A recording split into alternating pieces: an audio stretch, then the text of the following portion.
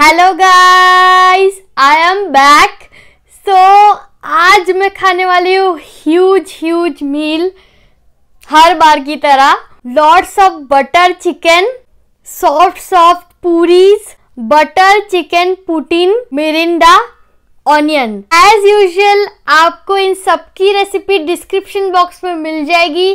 Please please please checkout कर लेना. दोनों का ही चेकआउट कर लेना. एंड मुझे फेसबुक एंड इंस्टाग्राम में फॉलो करना मत भूलना। बहुत जल्दी हमारे थ्री मिलियन कंप्लीट होने वाले हैं। Thank you thank you so so much okay guys let's start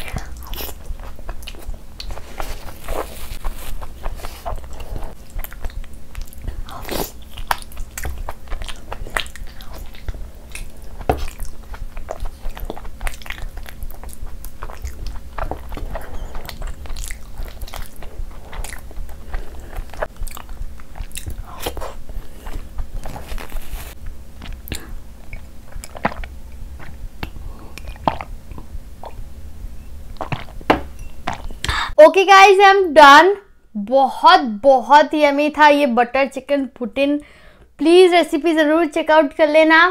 bye